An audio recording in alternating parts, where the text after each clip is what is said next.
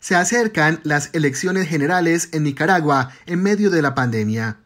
Y a poco más de una semana de los comicios, la COVID-19 ha generado debate por el contraste entre las cifras oficiales y la de médicos independientes y por una vacunación a cuentagotas que ha llevado a miles de nicaragüenses a cruzar la frontera, principalmente a la vecina Honduras, en busca de la inyección.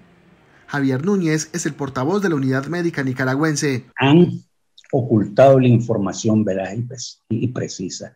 No sabemos, por ejemplo, nosotros hasta este momento cuál es el aproximado de muertos que tiene Nicaragua.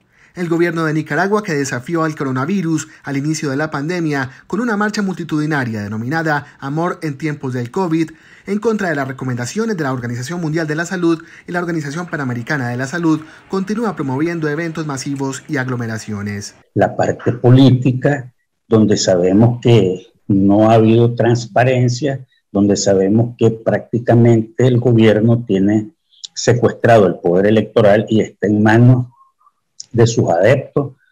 Ortega, que busca su quinto mandato, cuarto consecutivo y segundo junto con su esposa, obtuvo un 33% de aprobación en el manejo de la pandemia, siendo uno de los tres presidentes peor evaluados de Latinoamérica.